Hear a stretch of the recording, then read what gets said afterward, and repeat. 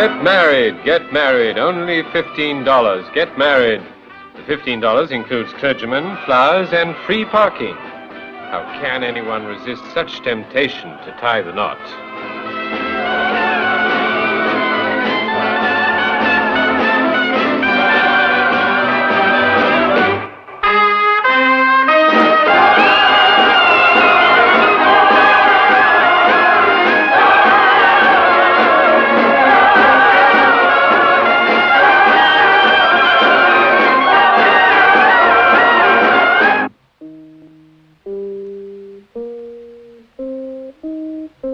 Las Vegas is not a city. It's just a gigantic light bulb that goes out at dawn. And at dawn, it's not possible to get married. At that hour in Las Vegas, one can only get divorced.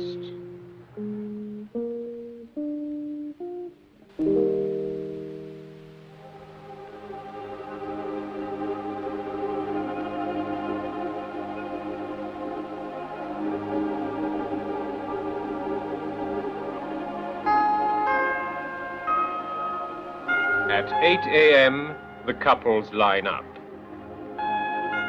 They meet again only for legal reasons, and when they leave here, their paths will separate forever. Somebody cries. Some drunken husband hit his wife or maybe insulted the judge.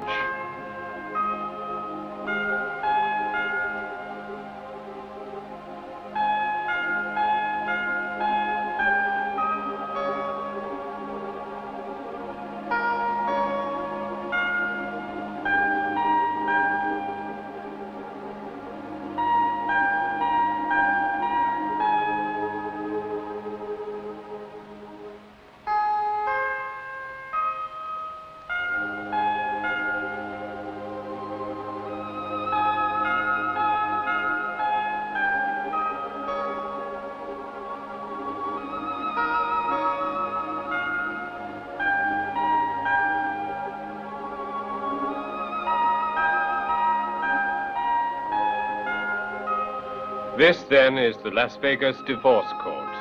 All glass, transparent. Transparent like those who await their turn, like their character, their indifference, or their inner pain, and their inevitable loneliness.